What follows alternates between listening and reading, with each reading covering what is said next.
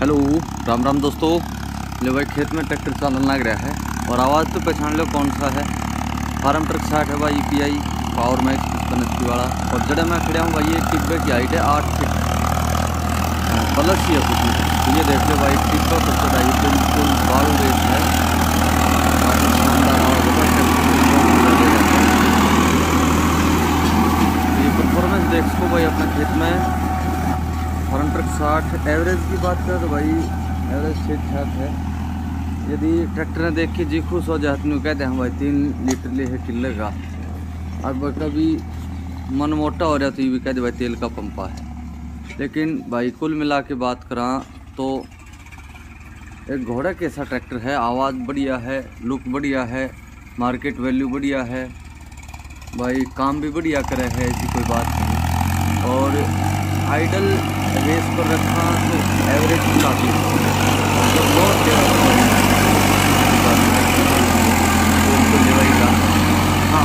क्या है लोड लेने पर कोई ट्रैक्टर थोड़ा सा ज़्यादा खा है कोई थोड़ा कम खा ले।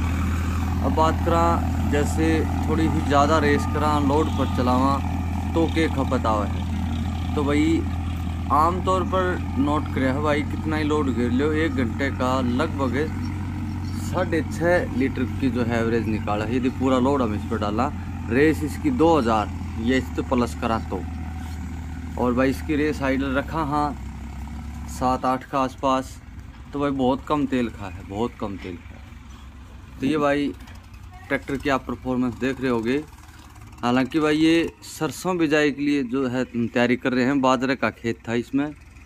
और भाई इसमें बाजरे का जो उत्पादन है वो 45 मन के आसपास रहा है। तो भाई, अब की बार कपास सिमाना में ज़्यादा थी तो कपास की तुलना में बाजरा इबका ठीक रहा है, क्योंकि बाजरा भाई बिना खर्चे ही खेती हो है, खर्चा कम लगे है। तो इसका रेट भी कम है, और भाई, कपास का रेट ज़्यादा है तो भाई खर्चा ज़्यादा है। और सही बताऊँ तो अब की बार तो भाई, तीसरे हिस्से का खर्च तो भाई लेबर का ही लग गया चुगाई चुगाई भी। अब बाकी जो दो हिस्से बच गए, उसमें खर्चे देख लो भाई। खाद का, बीज का, चार बार जो है बाड़ी हड़ी भी गई है। और भाई, बहुत खर्चे हो जाए हैं। यदि जोड़न बैठ जाए शायद खेती करिए नहीं जा। इतने है भाई, हर साल नए पुराने होंगे जा लागे रहा तो ये भाई, आज की वीडियो में बस खाली परफॉर्मेंस दिखा रहे थे फार्म ट्रक साठ की। और ख़ासकर इस वजह से कि ये जो है, अब जहाँ ट्रैक्टर चल रहा है, इसमें बाढ़ रहे थे भाई बिल्कुल, अब जहाँ चल रहा है फ़िलहाल, जहाँ से मुड़ा है, यहाँ थोड़ा सी टाइट भी ज़मीन है भाई, क्योंकि थोड़ा सा झोंक हो रहा है। पानी हमेशा हर साल यहाँ रुका तो थोड़ी लालड़ सी ज़मीन है इसमें। लेकिन अब जैसे ये यहाँ आ गया तो अब रेत आना शुरू हो गया, थोड़ा ऊँचा टीला है, और अब इसके बाद एकदम फिर ये जो है झोंक आ गया।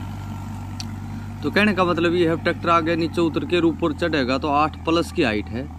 तो सोलह तवा की हर खींचनी औखी है भाई, छोटे ट्रैक्टर से खिंचा भी कौन, और सही मायने में तो इससे भी कौन खिंचाए, लेकिन